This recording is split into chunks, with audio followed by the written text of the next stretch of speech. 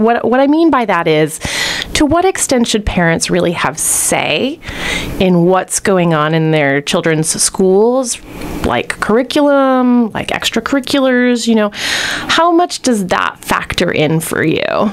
I worked as a school psychologist and was a member of a multidisciplinary team, and we always um, wanted parents to be part of that as we were making the decisions um, regarding students and, and what their needs were going to be.